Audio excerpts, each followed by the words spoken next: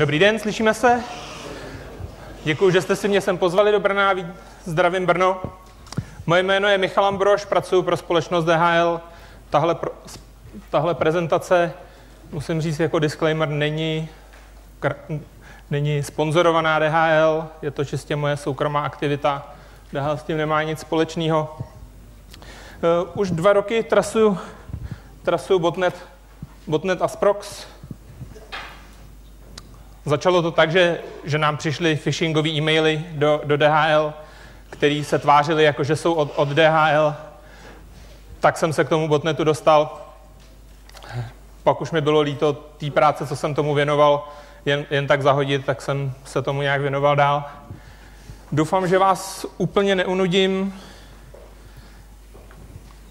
Možná předtím, než vás všechny uspím, tolik lidí jsem zaraz neuspával ještě, začnu od konce. Asprox.net eh, momentálně se jeví jako mrtvej. To je taky důvod, proč vám tady o něm můžu říkat, protože některé ty věci jsem předtím nazdílel policii a dokavať to žije, tak, tak, tak jsem měl zakázáno šířit informace. Asprox se jeví mrtvej od, od 19. ledna. Bohužel pro vás to nemusí být konec tohohle toho botnetu, protože už v minulosti si Asprox botnet několikrát dal třeba jednoletou pauzu a objevil se potom, potom znova v plné síle.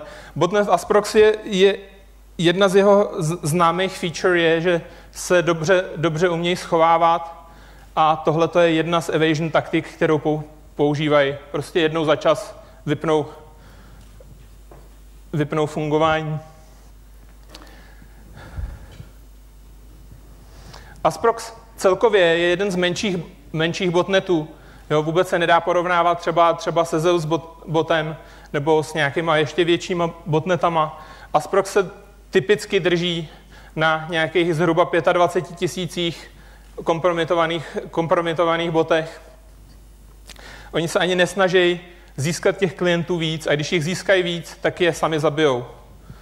Jo, tímhle tím způsobem se snaží limitovat to, jak jsou moc zajímaví pro policii a pro, pro, pro security researchery. Eh, schopností tohoto toho botnetu je rozesílat spam. Oni fun- pravděpodobně fungují jako, jako malware as service, nechávají se najímat od jiných botnetů k šíření, k šíření kampaní pro jiné botnety. A část jejich zisku taky pochází ze šíření nějakých advertisement kampaní. Jo, jedno z možných podezření je, že to je čistě nějaká, nějaká reklamní agentura, která prostě si takhle přidělá, přivydělává peníze. Eh, co bych s váma rád nazdílel, je nějaký overview architektury a toho, co, co Asprox v posledních dvou letech dělal. Asprox jako botnet je známý zhruba od roku 2007, kdy poprvé byly detekované nějaké jeho aktivity a poprvé si někdo všimnul, že ty aktivity vlastně patří dohromady. V letech 2008, 2009, 2010 měl, měl obrovský kampaně, kde moduly toho botnetu byly schopný sami přes Google si hledat nový vulnerable servery, na ty se pomocí nějaký mas, masivní SQL injection nabourat a a vlastně nazdíle tam ten svůj malicious content. Pak ten botnet vlastně na několik let zmizel, nebo zmizel ten, zmizelo to pojítko, jakože je to tenhle ten botnet. V roce 2012 se zase objevil a díky společnosti Trend Micro, který, který vlastně identifikovali, že to je stejný stejný druh útočníků a, a používali nějakou stejnou infrastrukturu, tak to nějak dali dohromady. Já o tom botnetu vím od roku 2013, od té doby ho nějak trekuju. V roce 2013 vlastně botnet začal, začal masivně, v roce 2012 začal masivně používat downloader Kulos, díky kterému udržoval vlastně ten, ten list těch, těch aktivních, aktivních botů, aktivních zombie hostů a rozšiřoval se potom nějakým způsobem dál. Jo, v roce 2013 možná i jako reakce na, na aktivity podobných individuí, jako jsem byl já, Asprox se začal hodně, hodně dynamicky měnit, implementovali nový, nový způsoby enkrypce, tak aby dál jako obfuskovali tu svoji tu svoji prezenci na, na, na počítačích a, a své aktivity. Jo, zatímco, zatímco v, ro, v roce 2013 veškerý trafik se dal víceméně číst, tak od roku 2013 veškerý trafik je enkryptovaný a vlastně není z toho poznat, co to je, jestli je to nějaký SSL nebo, nebo, nebo co to je. Potom v lednu Asprox prostě zmizel. Doteďka se neví, jestli ho sundali nějaký security researchři nebo, nebo, nebo FBI nebo, nebo německá policie, kteří taky byli zainteresovaní do toho najít, najít původce. Struktura tohohle toho botnetu vypadá opravdu jako malý, malý enterprise, malá, malá společnost. Celá ta infrastruktura, bavíme se o, nějak, o, nějak, o nějaký zhruba stovce, dvoustovkách serverů, který přímo spravují, a potom další tisíce serverů, který, který oni hackli. Uh, začal, bych, začal bych od toho, jakým způsobem se ten botnet vlastně projevuje na straně kompromitovaného hostu. S tím jakoby asi přijdete do, do, styku, do styku nejdřív. Začíná to celý tím, že, jak už mluvil kolega přede mnou, dostanete phishing e-mail. Phishing e-mail od Asproxu jsou nějaký ušmudlaný maily, jsou to prostě sexy templatey, na kterých chcete kliknout. Jo? Vy chcete dostat balíček, chcete dostat balíček od DHL, chcete se nechat pozvat, pozvat na svatbu, jo? chcete prostě dostat novou, novou message od kamaráda a spousta lidí na to prostě klikne a stáhne si to. Ty e-maily od Asproxu jednak byly přibalený přímo, přímo se zipem, ve kterým, ve kterým byl exáč toho malwareu, anebo obsahovali link, ze kterého jste si ten malware, malware stáhli. Jo, oni střídají tak ty kampaně, vždycky mají jednu kampaň jako s malwarem, pak mají další měsíc mají kampaň, kampaň jenom s linkama, pak to zase, zase vystřídají. Tady třeba je zajímavý White, přestože Asprox se cílí na, na anglicky mluvící, tak tady ta společnost White je malá společnost, co zprostředkovává svatby v Praze.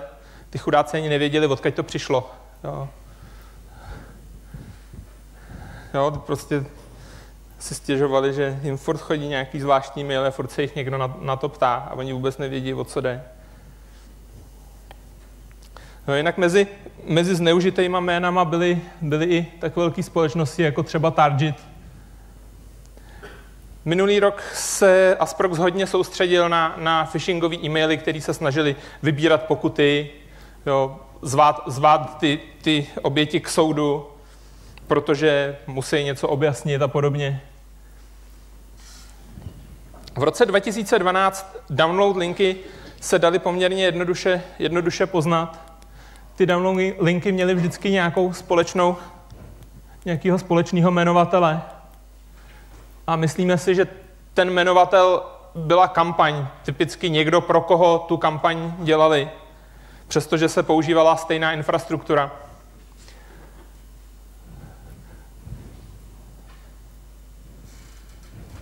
Ty linky potom oni dál specifikovali ten Asprox botnet podle toho, jestli jste se ptali, na ten identifikátor s parametrem ticket nebo, nebo getinfo, tak jste potom dostali zip ke stažení, který měl formát buď jako, jako ticket, ticket jako letenka, jo, nebo, nebo jako balíček, bylo to pojmenovaný, ten zip byl pojmenovaný package XY a obsahovalo to vevnitř exáč, který byl zase pojmenovaný paket Y, tak aby to šlo dohromady, tak aby to šlo dohromady s tím, phishingovým eh, templatem, který, který k tomu byl rozesílený.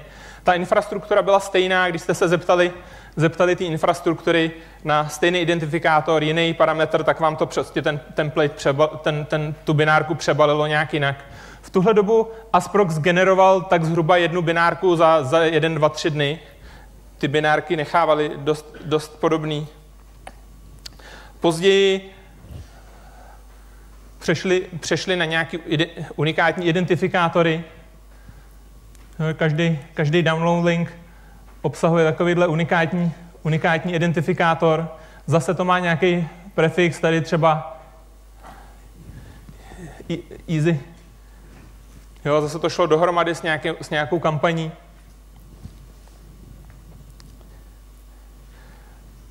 Taky jsme viděli, taky jsme viděli templatey, který, který obsahovali obsahy rewrite, jo? místo těch, místo parametrů tam bylo slash easy a slash nějaký identifikátor. Ty identifikátory byly unikátní pro každýho, pro každýho, pro každou oběť, která ten e-mail dostala. A Asprox trakoval, kolikrát se ten, který link stáhnul a nechalo ho stáhnout třeba jenom jednou úspěšně nebo dvakrát. Jo. Asprox se tímhletím brání tomu, aby, aby speciálně antivirové společnosti tyhle ty linky schraňovaly a stahovali si ve velkým ten jejich, ten jejich malware a dělali na ní signatury. Když ten malware stáhnete a rozbalíte, tak exáč, který je v něm skovaný, tak má nějakou známou ikonku, buď to Word, nebo PDF, nebo, nebo je tam třeba notička nebo, nebo ikona MP3, abyste viděli, že je to zvuk jako, jako voicemail. A protože ve Windowsech by default většina uživatelů nevidí přípony známých, známých, známých typů souboru, tak spousta lidí na to prostě klikne.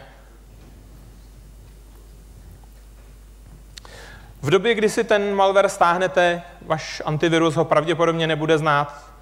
Jo, tyhle lidi, co generují tenhle ten typ malwareu, si sami drží podobné portály, jako je, jako je Virus Total, na kterých si testují, jestli ten jejich malware je detekovatelný nebo ne. Snaží se ho samozřejmě vygenerovat tak, aby detekovatelný v tu chvíli nebyl.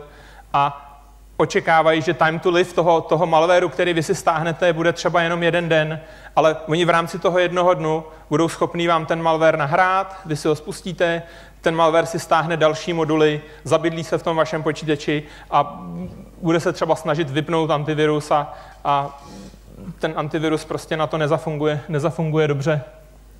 V momentě, kdy ten malware spustíte, tak Asprox je typický tím, že si vytvoří nový, nový servis, no, nový proces SVC host, což je, což je legální Windowsová binárka, on si prostě jenom spustí.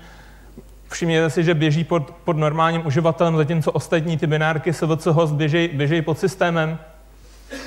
A tuhle tu binárku on v paměti nainjektuje svým připraveným DLLkem, a v paměti do něj, do něj vpraví vlastně sám sebe. Takže vy, vy vidíte legální binárku spuštěnou přímo, přímo z Windows. Když si tu binárku zkontrolujete na disku, tak, tak je naprosto v pořádku, ale ten malware už v tuhle chvíli je v paměti a počítá s tím, že v té paměti už zůstane. Nahraje se i na disk, nahrávají se s nějakým, s nějakým náhodným, náhodným jménem, ale popravdě řečeno, v momentě, kdy máte ten malware v paměti, tak žádný antivirus už vám, už vám nepomůže. Většina antivirů se zabývá jenom souborama, které existují někde na disku a snaží se dostat z, z disku. Jo. Reboot přežívá pomocí registry autostartu nějakého, nějakého nějaký binárky, kterou má někde, někde uloženou. Tohle to samozřejmě antivirus, antivirus může najít, smazat, ale oni nepočítají s tím, že bude, že bude u vás ten, ten, ten botnet žít dlouho. Jo, jim bohatě stačí jeden reboot. Oni počítají s tím, že mašinu máte zaslípovanou, že týden pojede v kuse a během toho týdne, kterým oni mají vlastně to opportunity window, tak oni stáhnou další malware, který se vám dál nainstaluje. Jo, oni nepotřebují mít miliony klientů, jim stačí těch 25 tisíc v každou chvíli, přes který oni dostanou ten, ten další, další payload. Eh, abych byl schopný nějak zacházet s těma, s těma vzorkama, který, který Asprox generuje, tak jsem si udělal takový portál, kde, kde trakuju jednak, jednak korpus toho, toho botnetu, to znamená ty, ty binárky, který, který ten, ten botnet produkuje a hlavně se snaž, snažím, nebo snažil jsem se trakovat command, command and control sitey. V tuhle chvíli za tyhle ty poslední dva roky od Asprox botnetu mám zhruba 18 000 vzorků executables. Jo, oni opravdu přešli na mod, že generují strašnou spoustu vzorků. Už jsem se i přestal snažit je sehnat všechny. FireEye třeba, třeba má nějaký odhad, že v některý dny, kdy, kdy ten Asprox má opravdu kampaň, tak jsou schopní vygenerovat třeba až 11 000 vzorků za jeden den jo, různýho, různýho malwareu. Ten malware není úplně fundamentálně odlišný. Jo? Ty jed, oni, oni skutečně nový vzorek kompilují zhruba jednou, jednou za, za 6 hodin, ale Oni v, i v rámci toho jednoho skompilovaného vzorku jsou schopní změnit nějaké atributy natolik, že nebudou sedět MD5 haše a pověsme si to na rovinu, většina antivirových společností, které fungují, tak vzorky chytají jenom na základě MD5 haše. Vyrobit nějakou generickou signaturu na nějaký generický pattern v tom malwareu je poměrně problematický i pro ty, pro ty malwareové společnosti. Stojí je to část, stojí je to nějaký peníze na lidi. Jo, když, to, když můžou něco přihodit jenom na základě checksumu, tak je to pro ně mnohem jednodušší. V den 0 obvykle, když stáhnete nový vzorek, tak ho detekuje 0 až 2 antiviry z, z nějakých 55, co teďka na virus totálu jsou. Jo, a obvykle očekávejte, že ten vzorek bude detekovaný za jeden až dva dny, jo, než, se k vám dostan, než se dostanou k té vaší antivirové společnosti a než ta vaše antivirová společnost dostane zpátky signatury k vám. Jo, což pro, pro phishingový spam je strašně dlouho. Jo, to je v podstatě nemá jak, jak ohrozit. Podívejme se, jak vypadá komunikace, když už máte takovýhle kompromitovaný host k CNC serverům. V roce 2012, tohle je nejstarší vzorek, který jsem, který jsem našel, ten, ta komunikace se vyznačovala tím, že celý UR, URI bylo nějakým způsobem zakódovaný. Vypadalo to jako, jako hexadam. Zajímavý na tom je to, že prvních 8 bajtů je klíč, který se použije pro, pro RS4 šifru a tou RS4 šifrou se rozšifruje ten zbytek. Jo, když se to rozšifruje, tak z toho vyjde takovýhle, takovýhle request. Tady vidíme, že v tomhle případě se, se ten bot ptal, dej mi další práci. Tohle je request na další, na další, na další práci. Tohle je identifikátor té mašiny, která, která volá.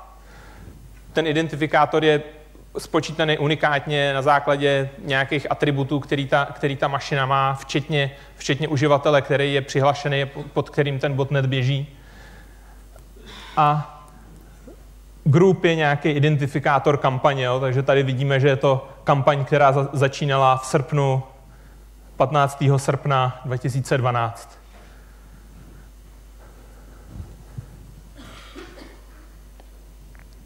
Velmi dobře je to popsaný, popsaný od Trend Micra, který, který v 2013 vydali, vydali papír o tom, jak, jak, jak botnet Asprox funguje.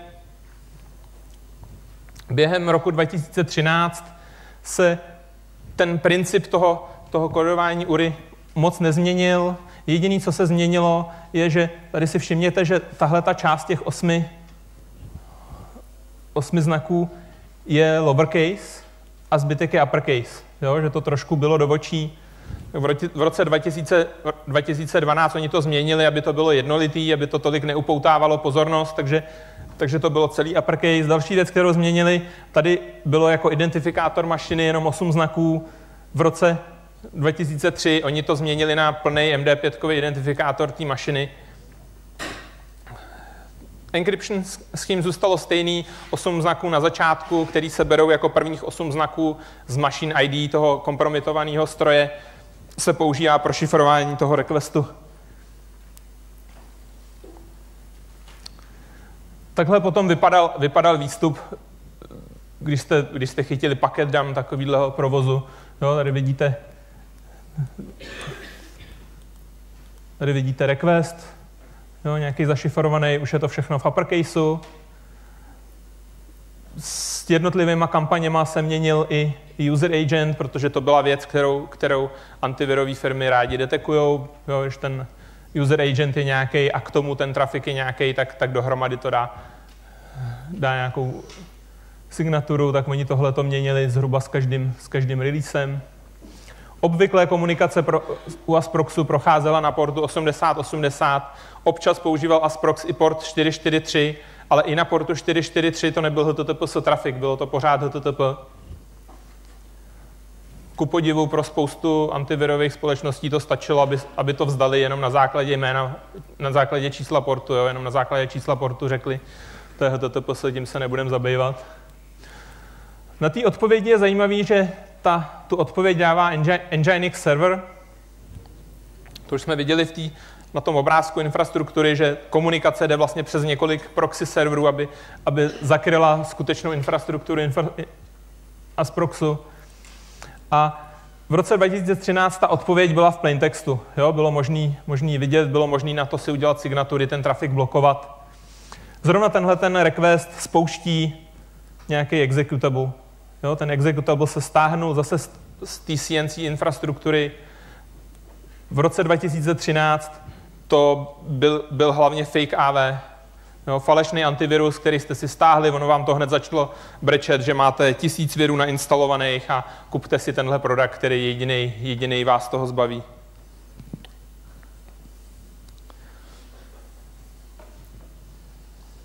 Těch komandů, který, který to, ten klient přijímá, je víc. Může se na chvíli, na chvíli uspát. V roce 2013 typicky se ten klient uspával na jednu vteřinu, což bylo pořád strašně ukecaný v roce 2014 přešli třeba až na 10 minut. Jo? Když hodíte, hodíte Asprox do sandboxu, nějaký ty poslední vzorky, tak ten, ten, ten, ten, ten bot vlastně předtím, než začne vykonávat nějakou aktivitu, tak spí třeba 10 minut nebo třeba i 15. Jo, spousta sandboxů je nastavená na nějaký malý časy, na dvě minuty, na tři minuty, vy z něj nedostanete vůbec nic. Jo, v momentě, kdy se doptá serveru, na co potřebuje, a server už pro něj nemá další práci, tak, mu, tak, mu, tak ho uspí. Zajímavý komand je RDL. Tenhle komand uh, donutí ten kompromitovaný host stáhnout si DLL a injektovat ho do paměti toho SVC, SVC exe, který už v paměti běží. Tohle to vůbec není detekovaný antivirovými společnostmi, jakože téměř, téměř vůbec. Jo, ten soubor se neuloží na disk, existuje jenom v paměti, stáhne se tímhletím způsobem. Zatímco, zatímco time to live těch jednotlivých, jednotlivých malware vzorků byl třeba typicky 1, 2, 3 dny, než, než je detekovala většina, většina antivirů. U těch, u těch modulů, které se takhle nahrávají přímo do paměti, ta životnost těch modulů byla i třeba několik měsíců předtím, než to začaly vůbec detekovat antiviry. A i potom ty antiviry nemají moc velkou šanci to detekovat, že to vůbec do té paměti někam zapisujete. Příkaz, příkaz run, ten byl víc ukecaný vzhledem, vzhledem antivirům, stáhnul exáč na disk a spustil ho jako separátní proces. Botnet, jak už jsem říkal, on, botnet Asprox si velmi hlídá, jak je velký a omezuje, sám si omezuje velikost, jo, stáhnou, stáhnou velikost na nějakou na nějakých 25 tisíc. Klienti, kteří už jsou starý, nehodí se jim, pošlou jim remove a, a normálně je vyhodí z té sítě. Umí taky editovat, editovat registry a updateovat ten kulos, kulos downloader. Během roku 2013 a Botnet Asprox se snažil nějak jako víc zakrýt, zakrýt ty svoje aktivity. Šli na to tím, že nejdřív, nejdřív implementovali encryption scheme, který byl podobný, podobný Zeus, Zeus botnetu v té době. Nebyl to evidentně pro ně úplně šťastný krok, protože ten formát byl tak podobný, že je brzo začali, začali detekovat firewally a, a, a NIPSy jenom na základě signatury, jenom na základě toho, jak byl formátovaný ten, ten request. Co tam zůstalo, bylo pořád, že, že URI bylo za, zakryptovaný v, v RC4, ale payload byl zakryptovaný v RSA. Jo, obsahoval dva, dva soubory, tak jako kdybyste poslali z nějakého webového formuláře. Ten první soubor měl v sobě RSAčkem zakryptovaný RC4 klíč, session key, a ta druhá část byla, byla, byly data, který, který obsahovaly ten vlastní payload. Ten payload byl formátovaný, formátovaný v XML takovýhle knock request, kde se, kde se ten botnet, teda ten, ten kompromitovaný host identifikoval, ohlásil se, z jaký je skupiny, z jaký, z jaký ty spamové vlny, v podstatě jak, jakou má verzi a řekl si o práci.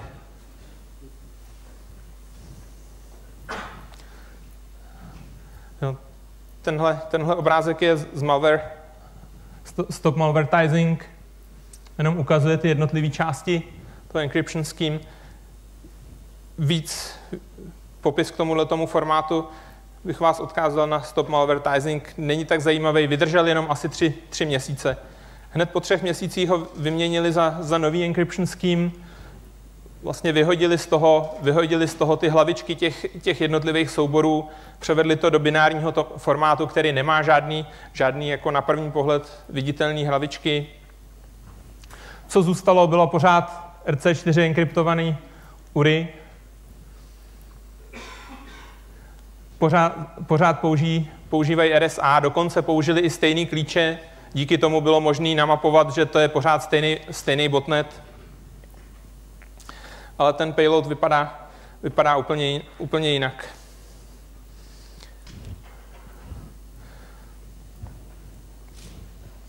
Takže zatím jsme se bavili o tom, jak, jak to vypadá z pohledu toho kompromitovaného uživatele. Teď bych vám rád ukázal zbytek té zbytek infrastruktury. Hned, hned další v řadě, co, co vás zajímá, je, jak vypadá, jak vypadá ten download. Download jde přes několik, přes několik Nginx serverů které jsou nakonfigurované v, v, v, modu, v modu reverzní proxiny. A až někde ve třetí vrstvě, nebo možná dál, jsou nějaký skutečný servery, které ten request zpracovávají. Tady ty servery po cestě, ty, v té první řadě to jsou jenom kompromitované webové hosty, jo, kam, se, kam se útočníci dostali přes, přes nezabezpečenýho ruta. Nainstalují si tam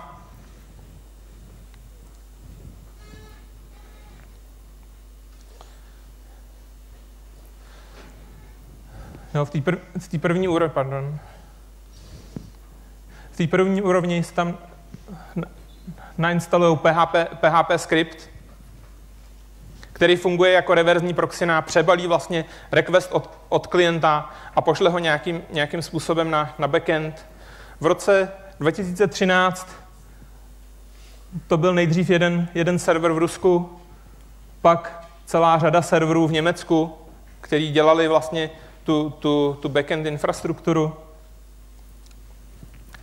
Ten request, na tom requestu bylo zajímavý a bylo možné to identifikovat jednak podle toho způsobu, jakým ten, ten paket přebalí, dva podle toho, že v každém případě, když se mu to nepovede, nebo když už se tomu botnetu nelíbíte, tak vám, tak vám dá 404. Díky tomu třeba tenhle ten botnet skoro nebyl detekovaný různýma firmama, jako, jako třeba Google, jako, jako malware link. Vy jste řekli Google, hele, tady mám malware link, ze kterého se stahuje malware. A oni řekli, ne, ne, ne, tam je jenom 404, to je úplně v pořádku. Jo?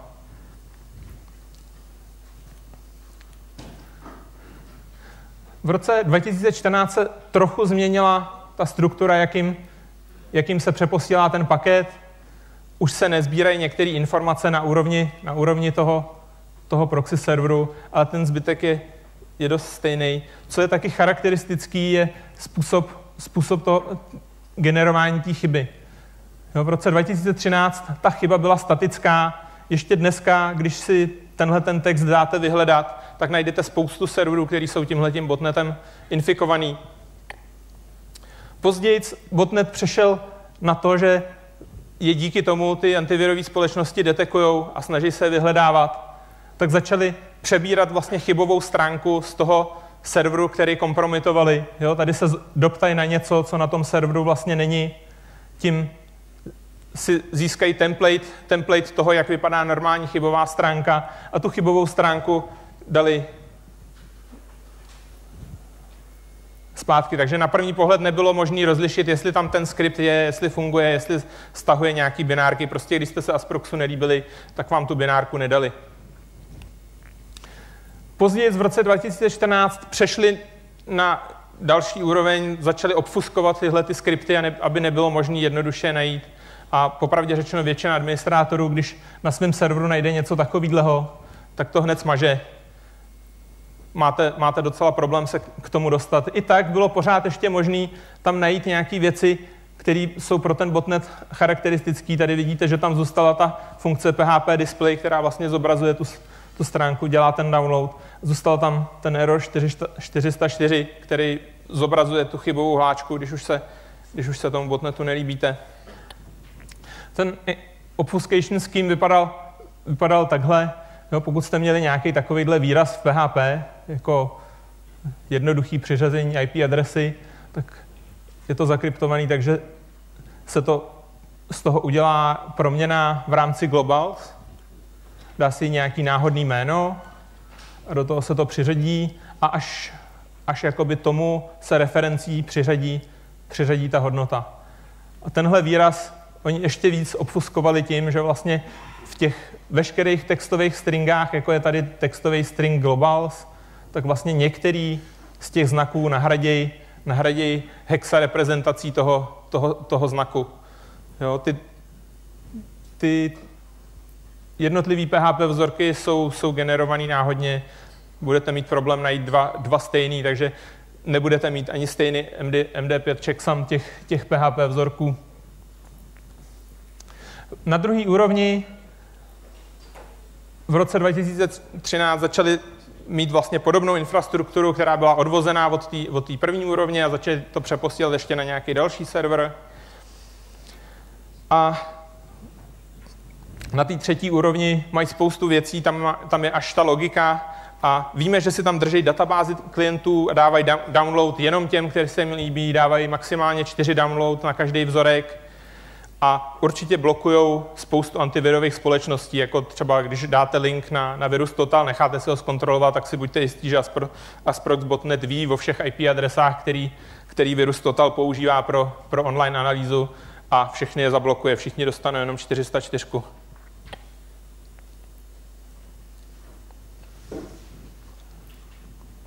Podobná té download infrastruktuře, která, která je pomocí, byla pomocí PHP skriptu, tak podobně funguje dneska spam infrastruktura.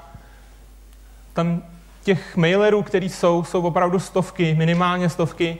Jsou to zase kompromitovaný, kompromitovaný webový servery, ať už s nějakou starou verzí Joomla nebo, nebo, nebo WordPressu.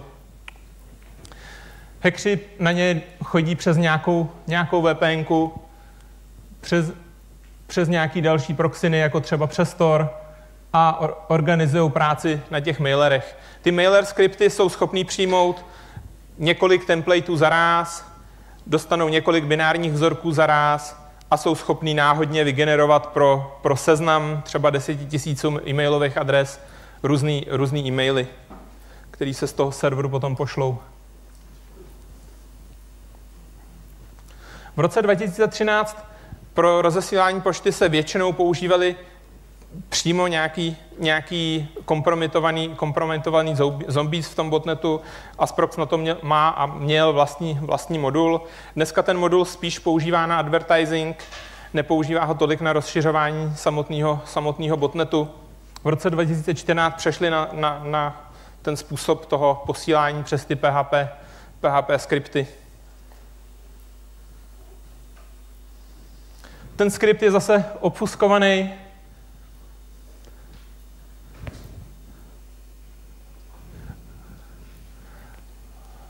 co tam je typický pro ten skript, je, jsou tam nějaké typické funkce, tedy jako isGoodIP, tam typicky je.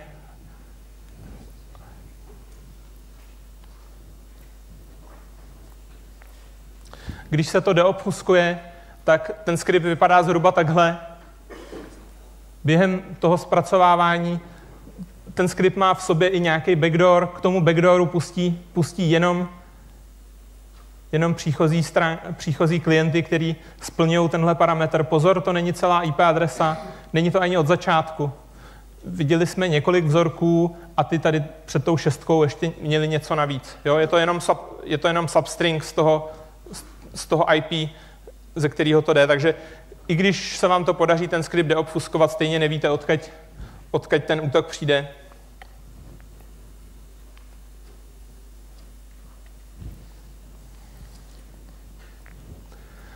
Když ten botnet jste dostali přes, přes e-mail, stáhli jste si ho a běží, běží na, na vaší mašině, tak se začne bavit s command, s command and control infrastrukturou. Tady přes, přes Nginx, Nginx proxy.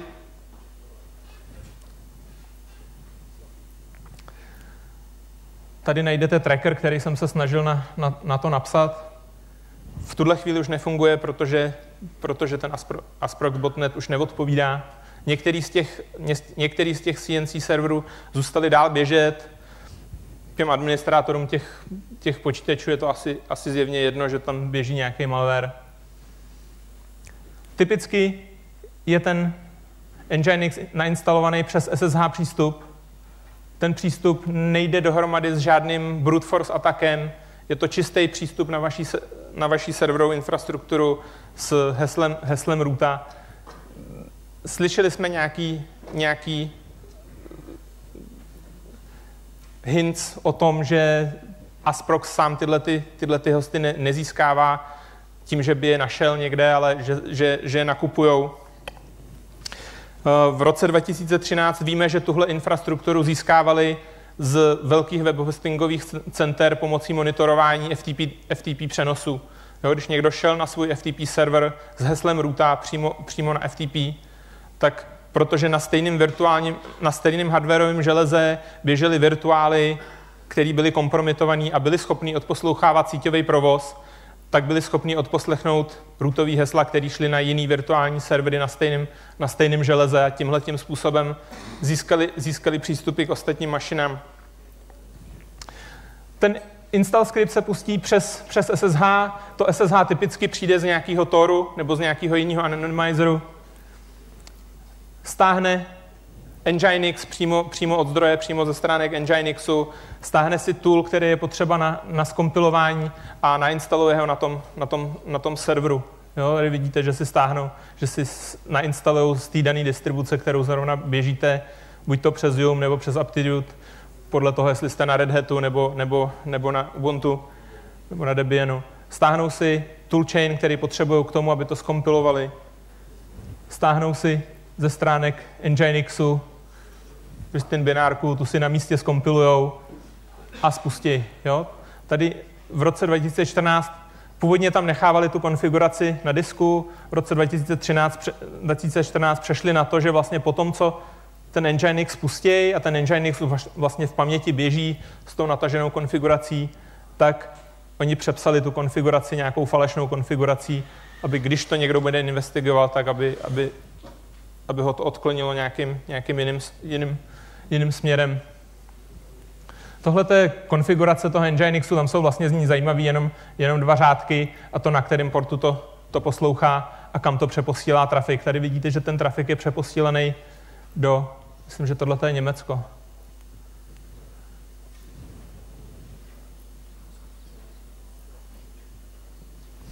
Jo, potom, co, co ten Nginx běží, tak se to pře, přepsalo nějakou jiný, jinou konfigurací. Tady vidíte, že se to přepostila na nějaký webový server, pravděpodobně Google nebo něco takového. Na tom kompromitovaném hostu to potom vypadá, vypadá takhle, když si vypíšete procesy, tak tam uvidíte, že běží, běží Nginx na nějakým, na nějakým portu.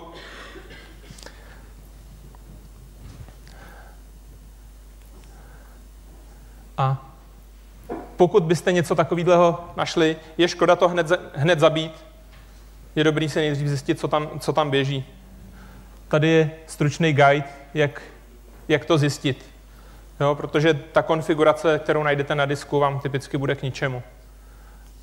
Kam, kam se ty data přeposílají, můžete jednoduše zjistit například, například s TCP dumpem, jo, tím, že se pokusíte, pokusíte připojit a poslat nějaký request, to pošle request na síť, vy si ho TCP dumpem chytíte, uvidíte, kam to, kam to je přeposílaný.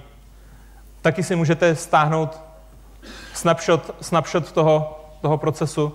V roce 2014 oni dokonce šli tak daleko, že, že po té, co se ten Nginx spustil, tak dokonce smazali binárku toho, smazali binárku toho, toho Nginxu.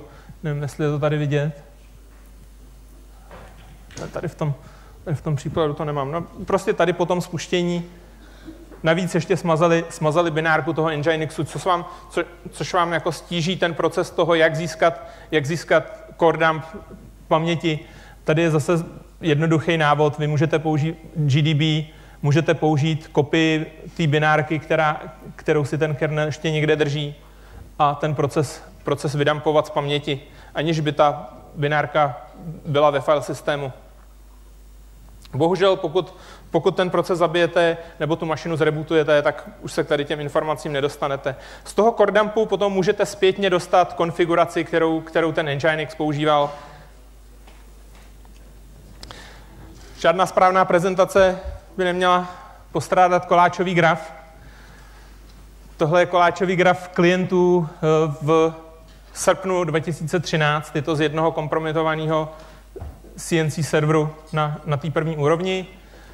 Během na, majitel toho serveru byl tak hodný, že nám, že nám nazdílel logy. Byly tam logy za dva měsíce. Za dva měsíce se tam připojovalo 27 tisíc unikátních klientů. A z toho, z toho grafu je vidět, že vlastně celý se to orientuje na anglicky mluvící země. Jo? Ten modrý koláč obrovský, to je Amerika. Jo? A pak tady máte Velkou Británii, Indii a nevím, co ještě, Kanadu. Jo? Že vlastně víc než, víc než tři čtvrtiny toho koláče jsou jenom anglicky mluvící země a zbytek jsou nějaký jako řádově, řádově jednotky klientů.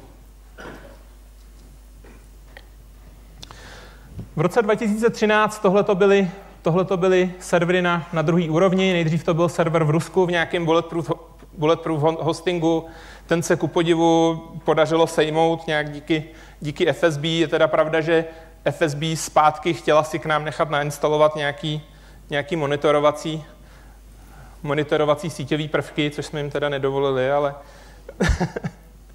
bylo to poměrně vtipný. Další dva servery se nacházely v Německu, když bych sám hostoval malware, tak ho budu hostovat v Německu, protože dostat se tam k někomu, kdo by byl schopný ten malware sundat, je na nekonečný proces, nekonečná byrokracie.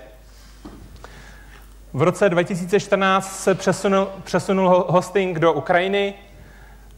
Původně tahle ta IP adresa byla směřovaná na nějakou univerzitu v Kijevě. Poté, co jsme jim to nahlásili, tak ta IP adresa zůstala, ale přesměrovala se na nějaký bulletproof hosting na východě, východě Ukrajiny, tam už to zůstalo. Na malou chvíli byla asi na měsíc, během roku 2014 byla ta infrastruktura přepnutá do Rumunska, ale myslím si, že to bylo jenom, jenom, jenom na dobu, na dobu té migrace té IP adresy z jednoho hostingového centra do druhého.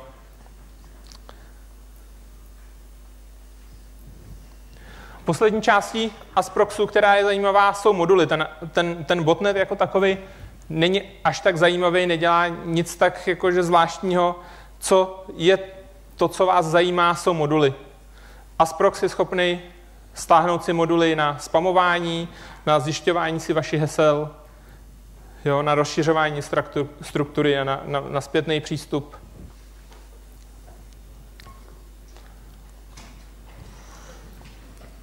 Pokud byste se zajímali o to, jaký moduly jsou a chtěli nějaký vzorky, tak tady je najdete. Jinak výborný, výbornou, výborný, popis, výborný popis těch jednotlivých vzorků. Jednak pro rok 2013 napsal už Trend Micro v tom, v tom white paperu. Pro moduly, které se používaly v roce 2014, vám doporučím stopmalvertising.com, výborný popis, popis jednotlivých modulů. Já tady opravdu projdu jenom, jenom v rychlíku Bavím se tady jenom o těch DL modulech, ne, nemluvím, nemluvím o executables, které jsou většinou malware třetí strany. Tyhle ty DL moduly myslíme, že patří přímo, přímo k tomu botnetu, přímo k Asproxu. V roce 2013 link na, na, na ty moduly byl distribuovaný v plaintextu, ty moduly byly nějakým způsobem zašifrovaný, aby vám je po cestě nesežral antivirus v roce 2014 s tím, jak Asprox přešel na nový encryption scheme, tak vlastně posílá, posílá ty moduly online přímo v, v odpovědi na ten, na ten XML request. Zpátky v tom XML zase dostane zabalený, zabalený modul toho malwareu. Ten se injektuje přímo do paměti, nikde se neukládá na disk, rovnou, rovnou se pustí z, pa, z paměti. Ty moduly v roce 2014 jsou zabalený v bzipu a pak jsou za, zakodovaný do base 64 aby se to dobře, dobře posílalo přes HTTP protokol. To celé je potom zakryptovaný RC4, od který je heslo zase zašifrovaný RSAčkem, jo? takže pokud odchytíte jenom samotný ten trafik a nemáte zbytek, zejména pokud nemáte klíč, který mají privátní klíč jenom pánové z Asproxu, tak asi nemáte úplně jednoduchou šanci ten trafik rozkryptovat. Některý z těch modulů, který se takhle stahují, tak používají přímo CNC infrastrukturu Asproxu, tu, kterou trasuju. Některý z těch modulů mají, mají vlastní CNC servery, na který se potom připojují. Nevíme, jestli je to stejná skupina lidí, jenom jiný servery, nebo jestli je to nějaká jiná, jiná skupina lidí.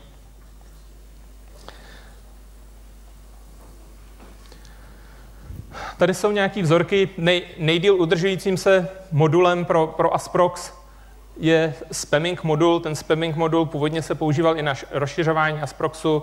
V roce 2014 spíš se používal jenom na rozesílání, rozesílání nějakých advertisement kampaní. V roce 2013 ty vzorky byly DLL a bylo zakryptovaný nějakým, nějakým klíčem. Bohužel ne od všech těch vzorků mám, mám ten klíč. Kdybyste to zkoumali, tak tenhle ten třeba zrovna je s tím R, RC4 klíčem. Od roku 2014 používá, používá ty vzorky trošku v jiném formátu, ale ten malware je v podstatě stejný. Tady vidíte, že, že to mají i pěkně verzovaný. Jo? Tady je verze 201 a jdou po jedničkách v podstatě nahoru. Poslední, co jsem bylo, viděl, tak bylo 300, 316. Takže to skutečně to nějakým způsobem aktivně používají, aktivně, aktivně vyvíjejí. Druhým modulem je modul mod info. Přiznám se, že jsem tenhle ten moc, moc neskoumal. Když byste chtěli nějaký z těch vzorků, napište si, pošlu vám ho. Vzorek, o kterým toho víme asi nejvíc, je, je modul, modul Pony. V roce 2013 utekl zdrojový kód od, od botnetu Pony, který sám nebyl až zas tak velký, ale byl zajímavý tím, jakým, jakým způsobem uměl, uměl krást hesla. Původně Asprox měl vlastní modul na, na kradení hesel, ale v roce 2014 přešli, přešli kompletně na Pony, použili, použili ten ukradený zdroják a, a, a používají vlastní infrastrukturu. Tohle to jsou servery, který, na který se potom posílají posílaj data z toho modulu. U toho, u toho Pony modulu jako, jediný, jako u jediného jsme se dostali až na druhou úroveň, že jsme byli zjistit, schopni zjistit, kam ukazuje tier 2. Bohužel většinou je to tak, že společnosti, které mají nějaký způsobem takhle kompromitovaný server, vám ne, nebudou chtít říct další detaily, nebudou se chtít nějak víc exponovat v tom, že byli hacknutí.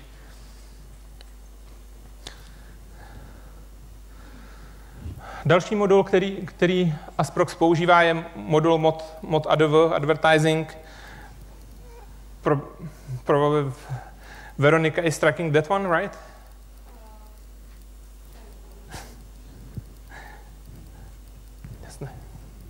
Už mě honí pryč. Omlouvám se, jenom proskáču. Tady ještě jednou jsou kontakty, kdybyste si chtěli stáhnout prezentaci nebo se na něco dalšího zeptat. Máte teďka nějaké otázky? Prosím? Prosím, ještě jednou. Já se přiznám, že sám jsem to jméno převzal od, od Trend Micro, jenom proto, že jsem potřeboval to nějak nazvat. A oni pravděpodobně to jméno odvodili od toho, že v roce 2007 až 2010 tenhle ten botnet hojně zneužíval chyb, které byly v ASP. Odtud pravděpodobně Asprox. Jo, přiznám se, že, že na tom méně nijak netrvám, jenom jsem převzal jméno, který tomu už někdo říká. Jo, najdete společnosti, který tomu, který tomu říkají říkaj kulos. Bohužel na, na jména od, od, od uh, antivirových společností se vůbec nedá, nedá spolíhat. Když se podíváte na ten korpus, který, který má asi 18 000 vzorků, tak většina z nich třeba u Symantecu je označená jako Zbot, což je úplně jiný mar- malware.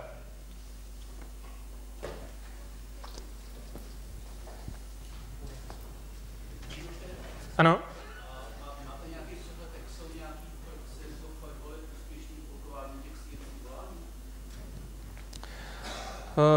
Nějaký přehled jednotlivý mám, ale jsou to spíš jednotlivosti technologií, které jsme zrovna zkoušeli. Jo, zkoušeli jsme, my třeba máme nasazený Blue Code, kterých většinu neznali, takže jsme jim jich většinu, většinu dodali jako seznam. Ten trafik jako takový je možný, ten, v té poslední verzi toho protokolu bylo možné detekovat třeba i snortem. Jo, existovala snortová signatura, která vlastně detekovala to, že ten payload, i když je binární, tak obsahuje nějaké charakteristické znaky. Typicky, že na začátku toho paketu jsou byty 008, což je no, 0080, což je dílka toho zašifrovaného RSA, RC4 zašifrovaného klíče v RSA. Jo, to RSA má nějakou pevnou dílku, když zašifruje ten, ten RC4 klíč. Takže na začátku toho paketu vždycky byly čtyři charakteristické byty. Ale spolíhat se na to, že vám, že vám to nenadetekuje něco jiného, je druhá věc. No.